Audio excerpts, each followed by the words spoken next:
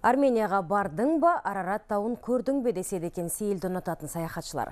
Қазақ елінен келетін туристер армян жерінде енді еселеніп келеді. Мысалы, былтыр Арменияда саяхатшылардың саны 26 мың болса, бұйыл шекара қызметінің мәліметі өзге деректі тіркейтін секілді. Арменияны аралау үшін қазақстандық туристер нені білгені жөн? Тілші әңгімелейді.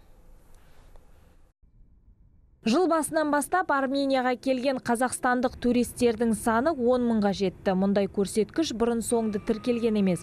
Екі мемлекеттің 2006 жылы жасасқан келісіміне сай, Армения табалдырғын төлқұжаты бар азаматтар ғана аттай алады. Что касается несовершеннолетних граждан. Шекарада кәмелет жасқа толмаған балалар ата-анасының бірімен ғана жүрсе, оларда сенімхаттың болуы шарт емес. Алайда елге кіру үшін міндетті түрде төлқұжаттың болуы керек. Онсыз кәмелет жасқа толмағандар шекара асалмайды.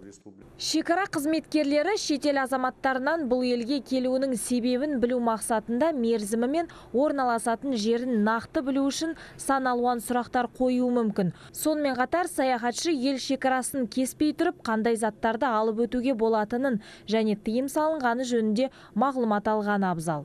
Запрещается вывоз. Это любые виды оружия, боеприпасов, Елден кез келген қару түрін әскери техника мен оған қосалқы бөлшектерін шығаруға тыйым салынған. Сондай ақ есірткілік әсері бар заттар, құрамында есірткісі бар дәрі дәрмек және мәдени құндылығы бар заттарды елден шығармайды. Шетел азаматы антиквар бұйымдарын сатып алатын болса, алдын ала мәдениет министрлігіне барып, бұл заттың мәдени құндылығы жоқ екенін растайтын анықтама алуы керек.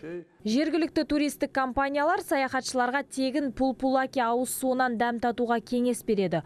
Ол қаланың кез келген көшелерінде шүмектен ағып тұрған таза бұлақ суы. Абсолютное большинство населения понимает русский язык. Тұрғындардың басым көпшілігі орыс тілін білет, әрдайым көмек көрсетуге дайын.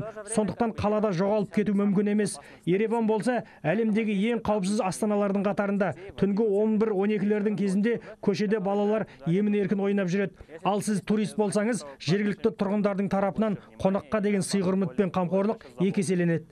Қазақстан азаматы Арменияда 90 күнге дейін қонақ болуға құқылы, ал ақша айырбастағысы келсе, теңгені жергілікті драмаға еш қиындықсыз ауыстыра алады.